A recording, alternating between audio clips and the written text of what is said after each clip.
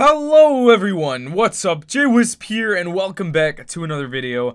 Today I will be sharing with you guys three things that you should do to prepare your survival world for 1.15. Okay, so the first thing you should do, or really should not do, is do not travel too far from your house or do any big exploration travels right now.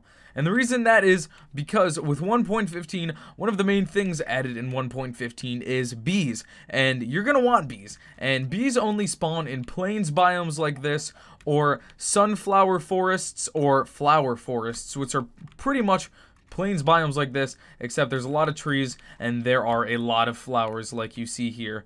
And since you're going to want bees, you're going to want them in fresh biomes that have not been loaded yet. Pretty much the way bees work is say you have a flower or plains biome like this and you've already explored all of it, already loaded all of the chunks, once you update to 1.15, there's not going to be any bees and there's not going to be any bee nests at least from my experiments, you know, I could be wrong, but I'm pretty sure that, you know, that's how Minecraft has always worked. Um, so what you're going to want to do is not explore too much, but then once 1.15 is released, go on a big exploration and explore in a direction that you have not explored before.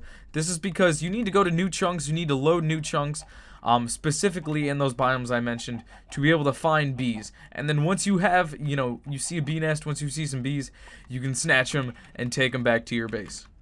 So the next thing you're going to want to do after you actually have your bees is build a place for your bees to stay. You know, build them a sanctuary, build a bee farm. Honey blocks and honey will have lots of great uses, and so you're going to want a lot of it.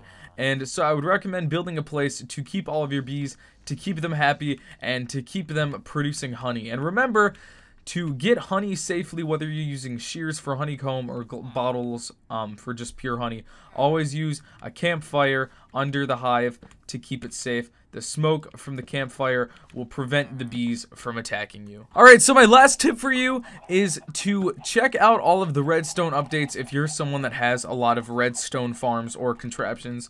Um, because pretty much every update in Minecraft, it's always been this way, but something changes with redstone, and there have been a few changes with redstone in this update. I'm not going to go over every single change because that's a lot, but I'll leave some of the update notes in the description if you want to check them out yourself.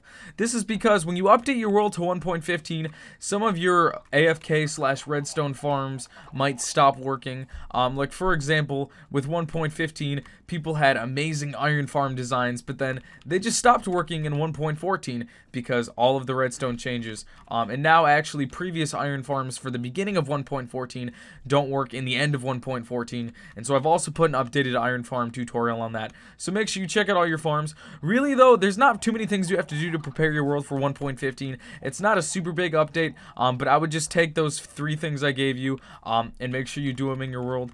Um, or with the first one, not do. Don't explore too much.